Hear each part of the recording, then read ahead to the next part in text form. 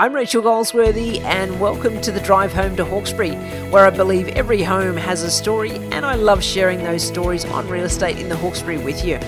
Here we share the best ways to add value to your property, how to avoid the common mistakes people make when buying and selling property, and how to get the maximum return on your investment with a focus on supporting local business.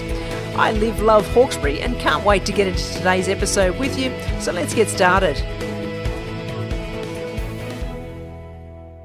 Or good evening, depending on what time you're watching this episode. I'm Rachael Goldsworthy, and today I'm very privileged and honoured to be joined by Master Janene Laird. How are you, Janene?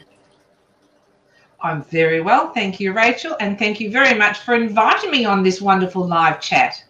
Oh, it's my pleasure. It's been so much fun this feng shui journey for me. Over the years, I've I've read a lot of books and met a lot of people, but I think the first interaction that I had with feng shui was actually contacting you, um, being the president of the Australian chapter, and uh, we'll talk a little bit about that as we go through. But I think I met you at Melbourne conference that you set up for the Australian chapter. Would that be right?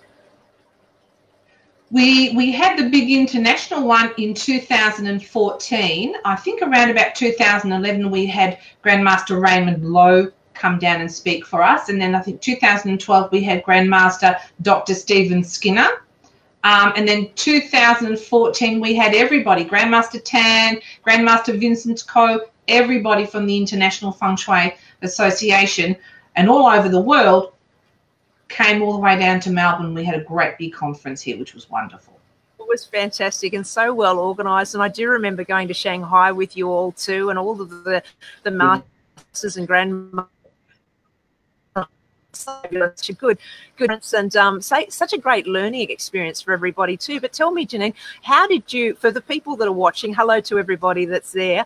Um, for the people that are watching, how did you get into feng shui? What, what does the start of your journey, and and who are you in regards to feng shui?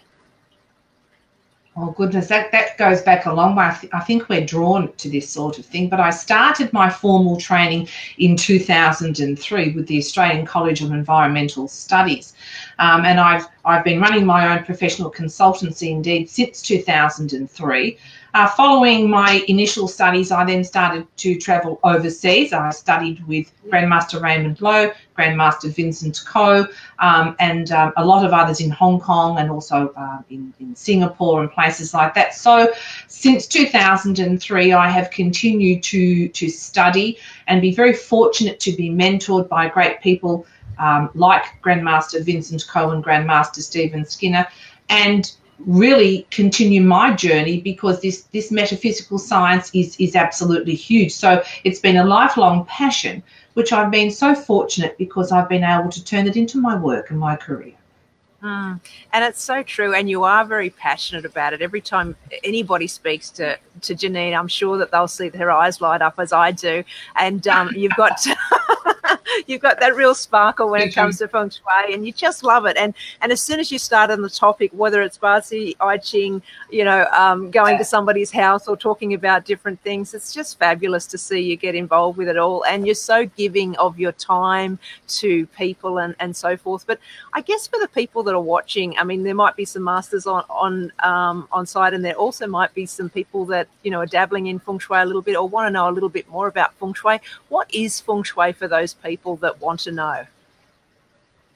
You know, there's a, a lot of misconceptions out there, and a lot of what what is mistermed modern feng shui, which which our, us traditional or classically trained practitioners we, we cringe when we hear that because feng shui is um, a metaphysical science. We actually regard it as a science.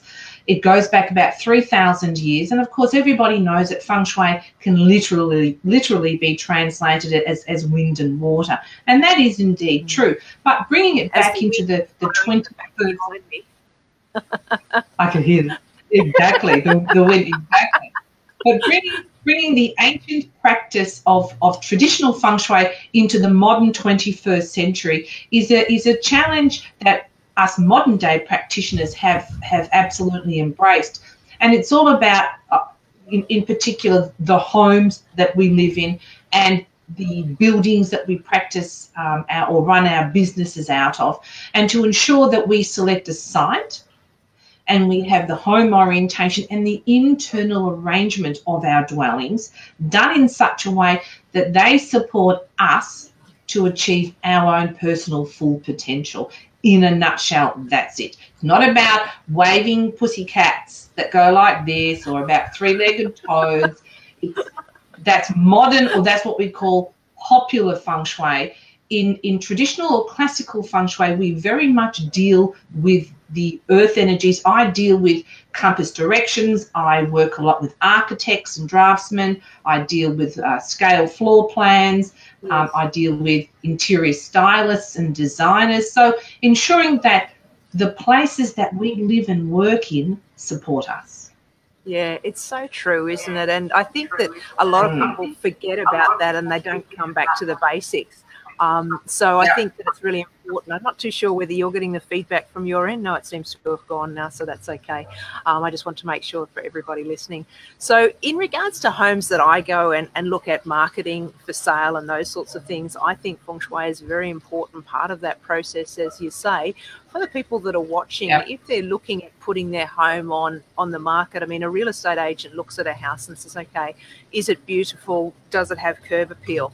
I guess from a feng shui perspective, it's similar to the form school and looking at the surrounding environment and also internal and external, isn't it? Absolutely right. And on your website, you've got a wonderful section um, under the selling called How to Get High Offers. And I know that you indeed have also done a lot of training with the Australian College of Environmental Studies, and it shows on your website. I must congratulate you on that.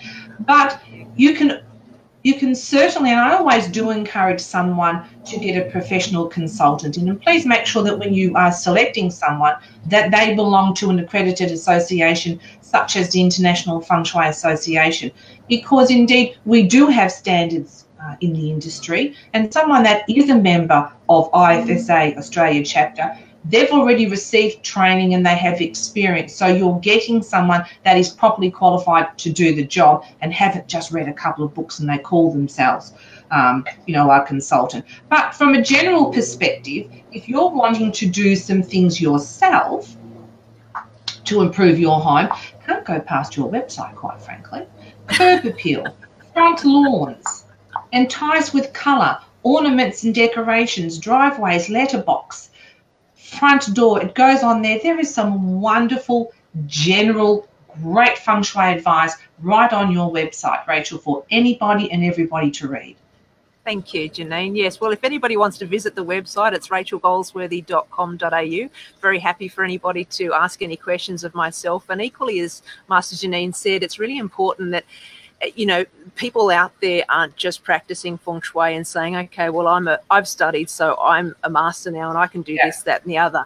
There's so much training that's involved, and we have to all ensure that we refer the work out to people that know exactly what they're doing. We all have certain yeah. skill sets, and we can all work towards that but we need to know where our limits are and how to then refer it out to somebody like Master Janene that is very well versed in everything that she's done. The training, I mean, I, if I just showed you um, just uh, wow. this section here, all the training, it's, it's just amazing on on uh, Master Janene's bio and the, the people that she's had uh, the training with. It's not just anybody that has picked up a couple of books and said that they can teach you something. They're masters and grandmasters of years, decades, and and also, I guess, families that have passed generational information through. Is that would that be right, Janene?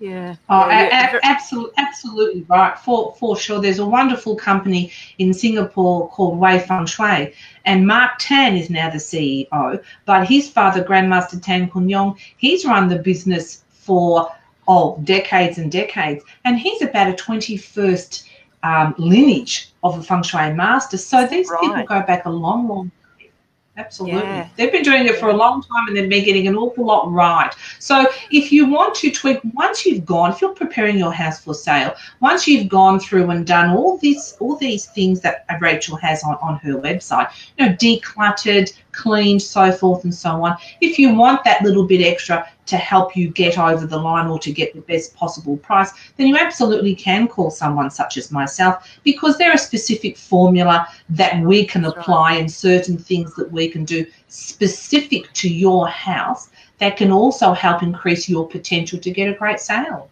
Yeah.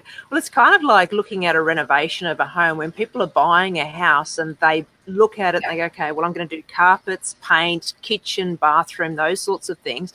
Feng Shui, from my understanding, is that there's layers that you can apply, as you're saying, Master, that you can look at it and go, okay, well, is the form correct? Is the location correct? What's the proximity yeah. to everything? What's the compass directions? And then you start doing flying star charts, those sorts of things, which gives you so much more information on the property, doesn't it? It's just fascinating. It's just so accurate.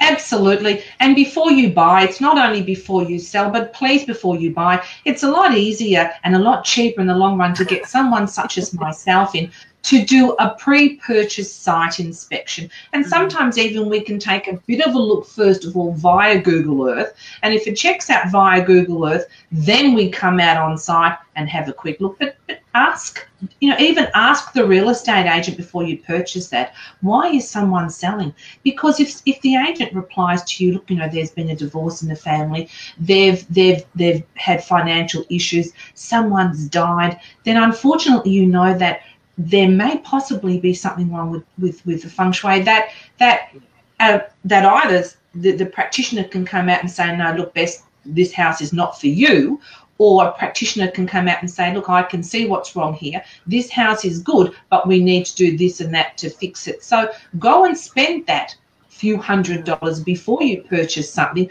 and you're talking hundreds and hundreds of thousands of dollars or millions of dollars invest a few hundred dollars in our services it'll save you a lot of a lot of a lot of trouble in the long run. A lot of heartache yeah. With the median house price in sydney 1 million and 29 yeah. 9,000 you know have somebody like yourself come in and talk about the different areas on their aspects prior to a purchase. And i think we'll end up going like they do over in europe at the moment in europe they do pest building valuation all those sorts of things that we do in australia. But they add that layer of a feng shui then biology then you know a few other bits and pieces that yeah. i think are really important because the environment that, that we're in if we're not even if it's as you were talking about before clutter. If we're living in a cluttered environment we've got stuff everywhere. You walk home yeah. you don't feel relaxed. You don't feel like you want to do anything. You just look at it and you're overwhelmed. You're overwhelmed at the thought of a i've got to clean it up. B i don't know what to do with this stuff see that you know their their guilt trips that I might oh that person bought me that so I can't throw that out. And you know there's so many decisions in all of the stuff that you see. So if you can just clear that space and and just from the basics point of view go out and um, you know bit by bit and the simple things and bring it back to basics. But as you say sort of get somebody out there to to do that pest building valuation pre-purchase plus a feng shui audit because it's so valuable. I can't tell you how many times i've i've sold houses to people over the years or gone to houses before people look at putting their house on the market. And as you say, there's an essence of energy in that that site, in that property, in that home, and whether it's to do with the renovations that they've done that have a different set of rules applied to it, or whether it's a pre-existing property that you know it was under a, another uh, cycle, it's um it's all fascinating and so accurate, almost so that you can walk in and tell somebody exactly what's going on based on the report that the master has has completed, and then they say are you psychic or are you is there something how do you know all of this information? You know have you've got a crystal ball? You need to talk to all of us. And and it's just the house that talks to you or the land that talks to you or the you know the flying star chart that talks to you or the forms. It's just fascinating isn't it? For sure. I, I always encourage all my clients when i do when i do residential dwellings the first thing i do is actually take them across the road and turn yes. around and have a look at their house from the other side of the road. And a good consultant, when we're pro- properly trained, I can already tell you something about the occupants of the home before I even enter it. That's yes. the first story. We don't get out our lopans until we've had our, our feng shui eyes on and we've had a look at what's behind the home, what's on either side of the home, what's in front of the home, how can the home, does the home receive chi? Does the home retain chi? We look at the balance of the yin and yang. So there's a lot to be determined before we even mm. get our lopans out and take any facing directions. There's an old saying that says, form never lies and mm. formula is not always accurate. So always yes. check out the forms. first of Yes. all, first and foremost. No, it's really important, and I think it's great advice that you've given because, you know, it's it's like anything. You buy a car, you're not going to. Yeah. Okay, well, the first thing you want to know is what color is it because it's what it looks like, what it feels like, how it makes you feel. Do you know what I mean? It's the same thing Yeah. with a house. It's Yeah. the same thing with the feng shui. If it's not going to make you feel, you know, supported or there's strength or there's, you know, all the things that you're looking for. needs to work what- you. yeah, absolutely So, so many people nowadays they have to work in order to keep the house, but the house should work and support you. Yes, yeah, absolutely. No. And is there any tips that you would give somebody? Obviously, each individual circumstance, you know, there's different things that apply, but is there certain things that you see quite commonly in homes that you think would be of value to the people that are watching today? Well, we, we've already touched on clutter. Now, clutter is not a part of clutter and space clearing is not a part of classical feng shui practice, but it does inhibit the flow of qi. So, if you have a home that's dirty or a bit dusty or and, and uh, smell and that sort of thing, that does inhibit. We, we want to have a, a chi is those invisible, intangible earth energies, and they bring opportunities for prosperity to people. So we want them to be able to come from the immediate surrounding environment, settle and accumulate in front of our home so that every time we open our door, it enters and it brings opportunities for prosperity into our lives. And they're able to move freely around the home. So if you have piles of dirty washing and, and leftover this and that and stuff, it doesn't. She stagnates and opportunities don't come so readily in, in into our lives. So the first thing to do is what we said is please declutter and clean. On wonderful fine days, open your windows, mm. get some fresh air in there as well. So Open they're the two main things. And you know, out, the front should look absolutely terrific. So, like I said, go and stand over the road and have a look at your house and see what sort of a story it tells you about about the family, which is you living in that home, and then go and work from the front all the way through to the back. So there's some there's some great general advice. I always say good housekeeping and good home maintenance is good basic feng shui. Do that first. When you've done that, then you can get a professional in so that we can tweak things to Mm. increase your potential for a successful sale if that's what you're after. Yeah, no, that's terrific. And if people were looking for a particular sale in a short period of time, other than doing those sorts of things and other than getting a consultant in like yourself, is there any special? I mean, I know the, the Americans um, like putting a St. Joseph statue and burying it upside down within 1.2 meters of the for sale sign, and they say it definitely sells the property. Now, I, I have not tried this, but Please uh. That's, that's, trust me, that's nothing to do with classical function.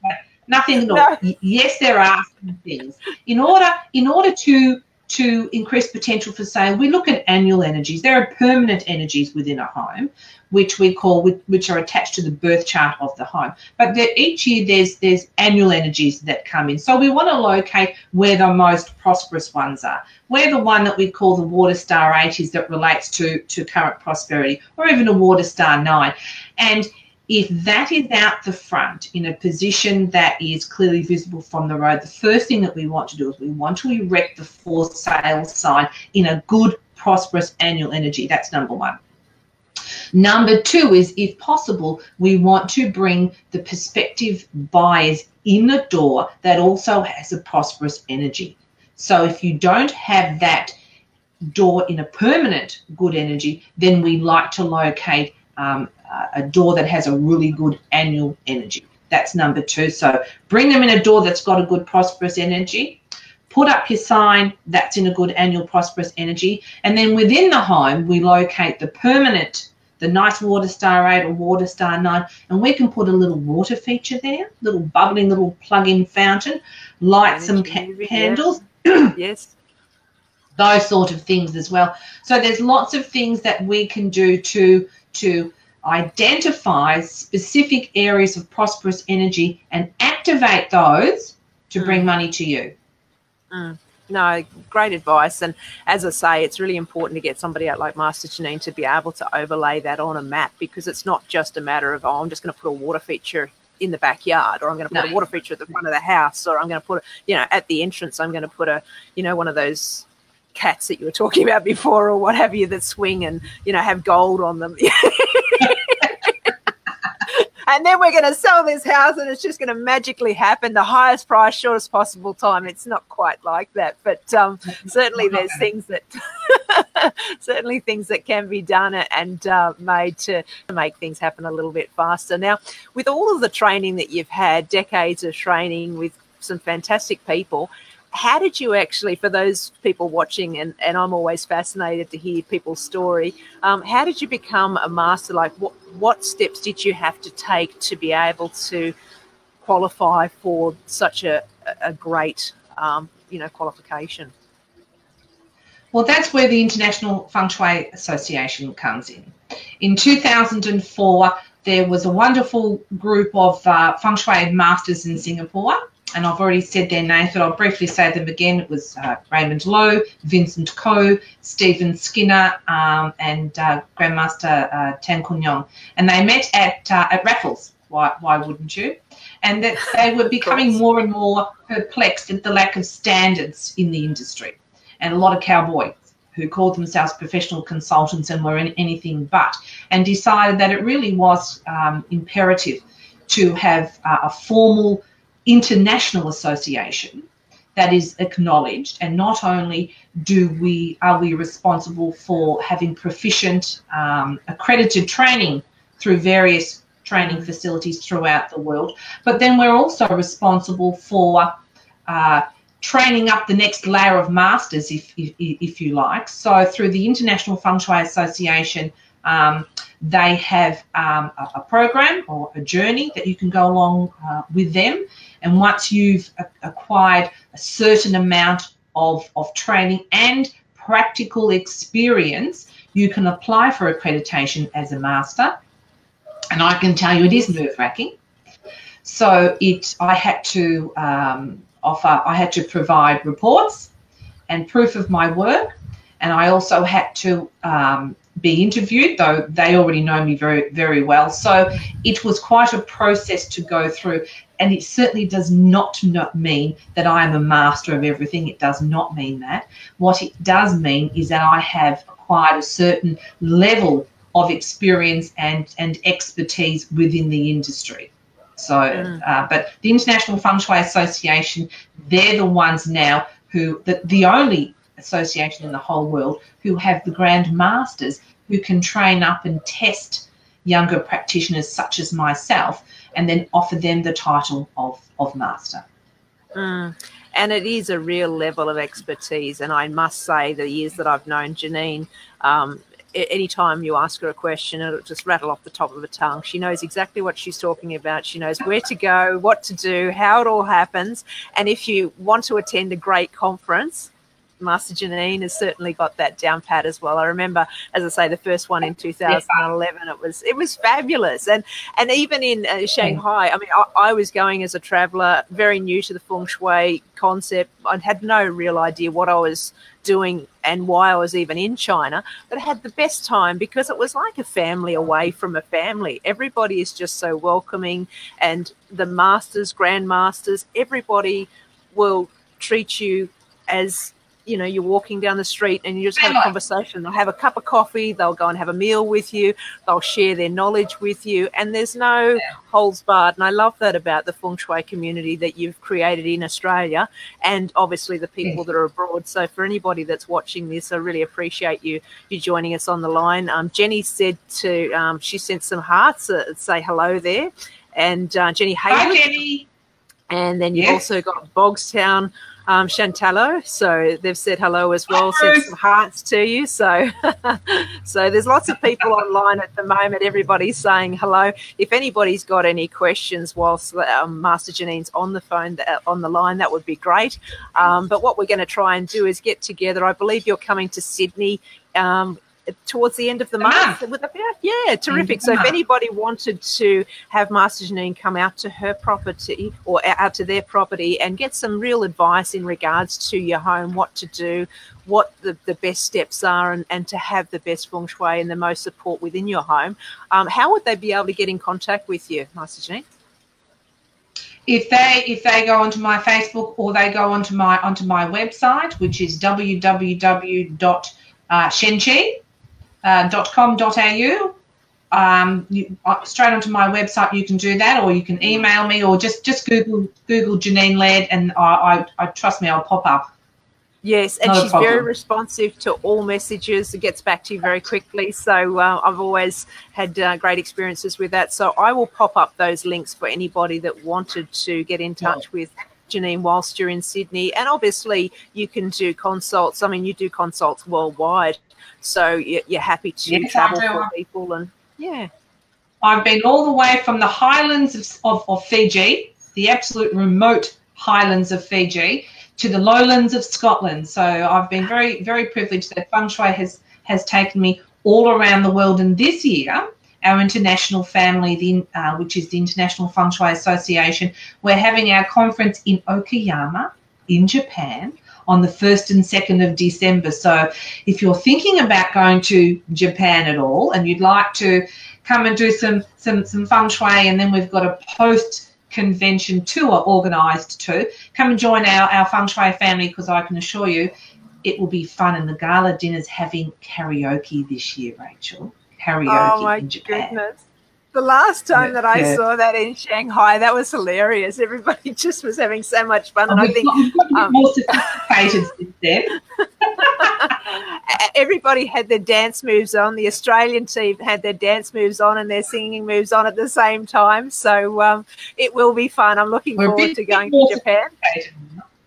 Yeah, well, now one thing that that I did want to say when your previous question when you were asking me about what can someone those steps that someone can take to ensure that when they're either buying a house or selling a house that they've got uh, covering everything that they possibly can. You know, a really important thing is is to engage the right real estate agent, and that's why I very quickly wanted wanted to touch on you because preparatory to this, um, I asked you for your birth data.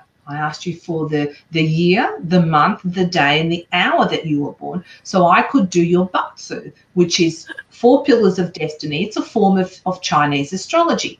Because when we're doing, and I do a lot of this, I do employee profiling for some large corporate clients just to make sure that they've got the right people doing the right job and it's the right fit for their company. And whenever I do employee profiling, the first thing that I look is look at is not only the inherent characteristics or qualities of those people, but I look to see if they're in, in good luck in their life. And I'm happy to say, Rachael, you are in good luck. Woohoo! So Yay. anyone coming and, and, and also I, I already chatted with you about this yesterday, but you've got what we call a follow wealth chart. Wow. Now follow wealth chart is actually actually very nice. Um, follow wealth um, charts confident in their ability to, to generate income, secure in their financial situation. In other words, you have a very good earning capacity and you're a natural business person. Um, industrious, talented, high, and highly intuitive when it comes to finances or, or business. So, so going to someone such as you, you've already got this inherent natural knack for business, making money for yourself, but even more importantly, making money for your clients. So that's number one. Is she suited to the profession that she's in? Absolutely, yes, she's a good businesswoman. That's number one.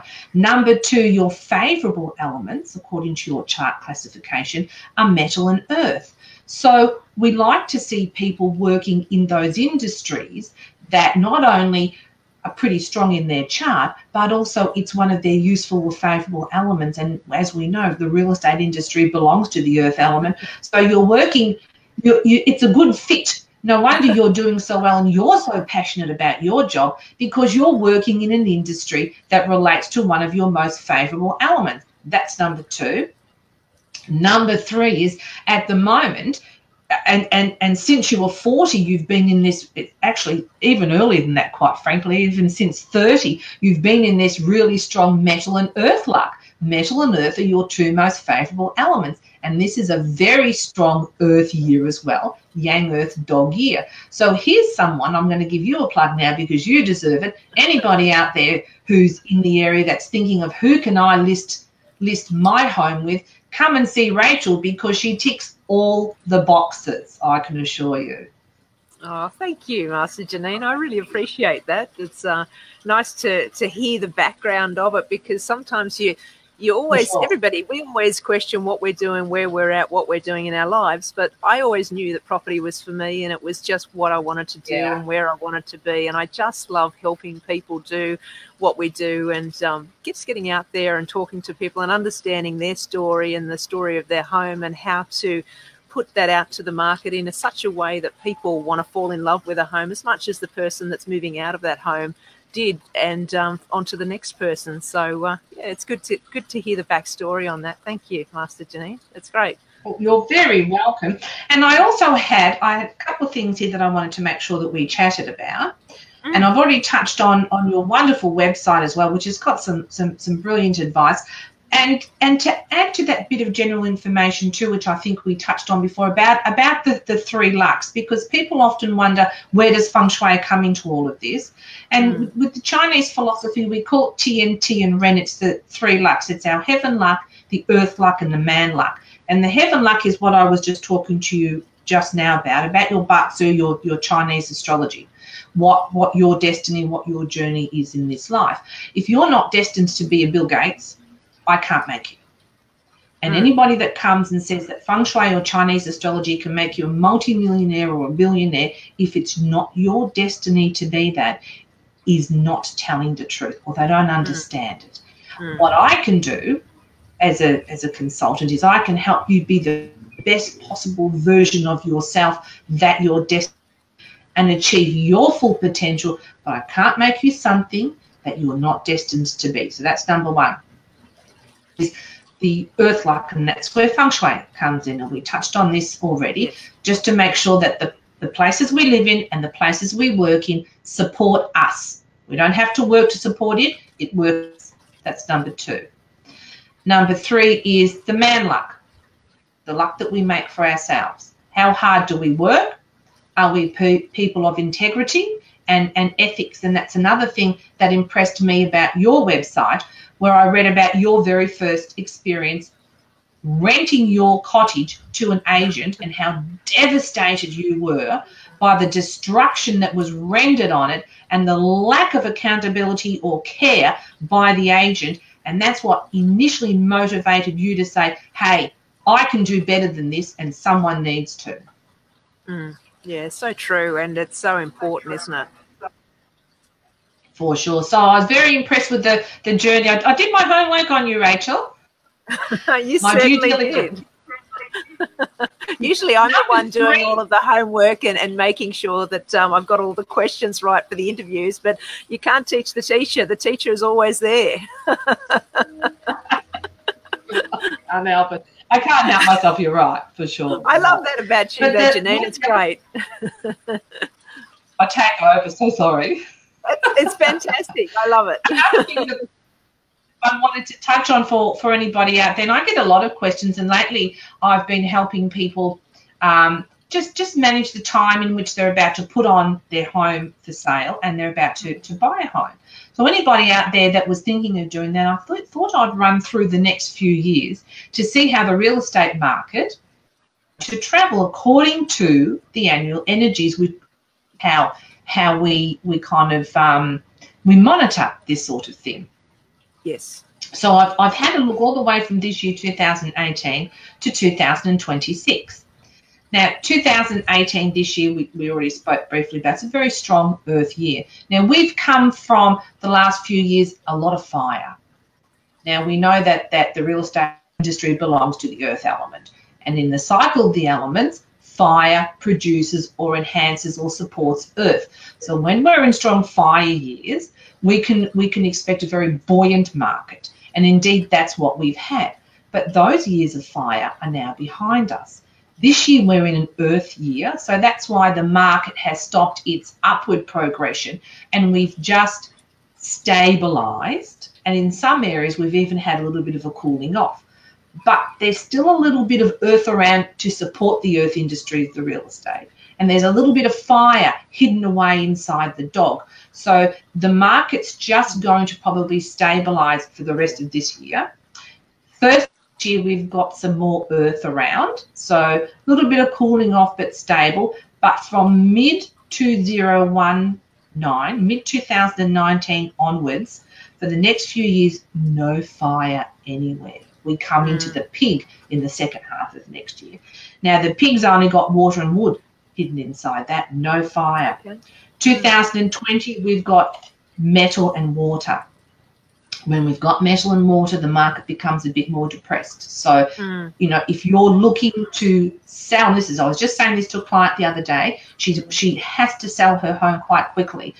Get it on the market, get it sold before the end of this year, while there's still a little bit of fire around. Then rent for six to twelve months. Rent I've I've advised 2020 when the market there's no more support the market. The market is going to cool. We're not going to have the same scenario as we did with the, the, the global financial crisis, but it, there is going to be a cooling off. Purchase in 2020, but sell now. 2021, more metal. Uh, we've got a little bit of earth, but it, it's it's winter earth. It, it's not mm. going to help the market much. 2022, with the first half, we've got the tiger in the second half. Now, hidden inside the tiger is some fire and um, and earth. So second half of 2022 is a little bit better if you're selling.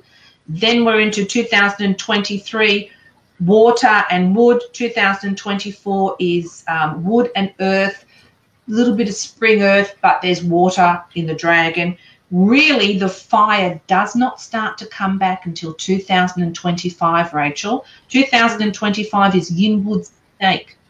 Mm. And you know that snake is the beginning of summer season, but more importantly, there's a bit of metal with the snake too. More importantly, hidden inside the snake is, is some fire and earth. 2026, Yang Fire Horse. So 2026, oh, we yes. should see the market recover. Yeah. Yeah, yeah. So for the for for now on, especially mid 2019, really until 2026, the mar- we're not going to have the buoyancy of the market mm. that we've had previously, that we've enjoyed previously. It's going to become more of a buyer's market and less of a seller's. Yeah, and I'd have to agree with you in regards to the statistics because certainly the, the amount of stock that's on at the moment in comparison to what was on last year um, is decre- like it yeah. increased a lot. So there's a glut in the market. There's less buyers. There's more sellers. Um, things are slowing. Yeah. We have had the buoyant market. We've been through that. And I, I agree, we are going to be heading towards a time where it's going to be a little bit challenging for some people, especially if they're thinking of those old prices that they want, that people pay an extra 10, 20, $50,000 because they really want that property.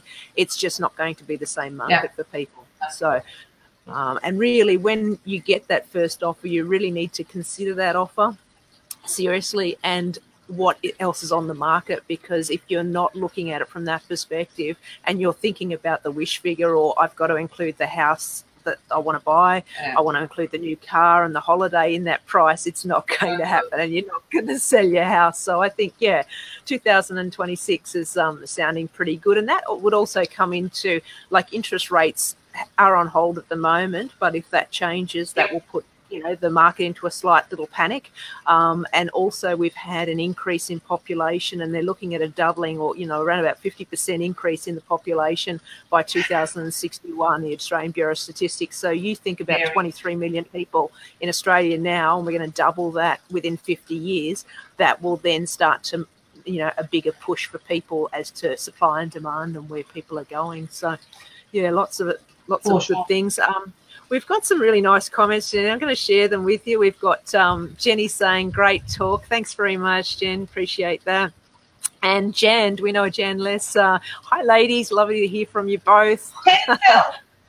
so that's great. Townsville. And yeah. Needs a professional consultant, Jan Eddie. Oh, very good, Jan. Thank you very much from Townsville. And we've also got Michelle on the line saying, Wow, how are you, Michelle? Nice to see you on the line. Terrific. And Susie, thumbs up. Everybody can give us some hearts and thumbs up. Let us know that you're on the line and we can say hello to you. We really appreciate everybody being um, with us today. And I think, uh, Master Janene, what we're going to do is do something on a regular basis as to the timing. We can work that out uh, at some stage. But you're heading up towards uh, Sydney in the next, uh, towards the end of the month. So if anybody, pardon me, wants to get in touch with you, um, can you just uh, say your website again for everybody listening if they wanted to connect with you prior to you joining us in Sydney? Sure. My, my business is called Shen Chi, E-N-C-H-I. So www.shenchi.com.au and you'll you'll get me. Google Terrific. Janene Laird or Shen Chi or or any of those and I assure you I'll, I'll pop straight up. And you have the Facebook page as no, well. No. Yep, terrific. Yes, and I do. Um, Janene Laird Terrific. And also the International Feng Shui Association. Did you want to give them a little plug with their website? For sure. The um, I run the Australian uh, chapter here. I'm the president of the um, IFSA Australia chapter. So that's www.intfsa.org.au. Office is the same website. Just drop the AU. And don't forget, we've got a great conference in Japan, um, in Okayama, uh, in December. And every February, we hold a Chinese New Year luncheon in Melbourne where we talk about the incoming energies for the year and what to do with your home. So that's always a great a great event. Um, the chapter runs in Melbourne in February. Oh, if you terrific. want to be a bit more informed about what to do for the year and I can certainly say from a participant that, you know, went on the first occasion, knew nobody, you all made me feel so welcome and like a feng shui family, as you said, straight away. So it was terrific. Anybody that's listening or that wants to attend or is just thinking about feng shui, doesn't really know, but wants to put their toe in the water, jump all in because they're a great bunch of people and lovely association and a really nice um, way to to spend your weekends and you, you know go to conferences and meet new people and learn new things and uh, what to do with your home and how to as you said janene live the best possible life that you can yeah, yeah. And, and, and, yourself too. And any consultant, so, as you were fun. saying, should be trained not only in classical feng shui but Chinese astrology.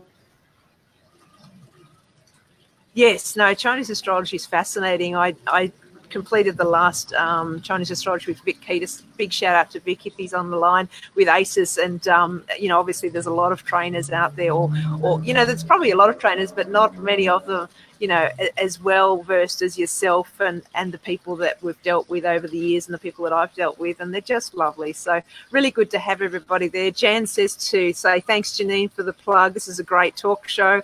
So, um, that, that's we appreciate your comments. But um, thank you for everybody for being on the line. Thank you, Master Janene, for jo- joining me today. I really appreciate your time. I hope everybody's got a little bit out of it as much as I have. I mean, I've certainly learned a lot today, as I always do, spending time time with you, Janene. Uh, so thank you, and I look forward to catching up with everybody on the next episode. Bye for now, everybody. Bye, Janene. Thanks, thanks, Rachael. You're welcome. We'll see you again soon. Thank you so much for taking time out listening to today's episode. If you have any questions on the process of buying, selling, leasing, or strata management, please don't hesitate to reach out to me. Be sure to subscribe on iTunes, and I'd really appreciate it if you could spread the word by liking and sharing this episode with your family and friends. I'm Rachael Goldsworthy, and I look forward to catching up with you on the next episode of the Drive Home to Hawkesbury.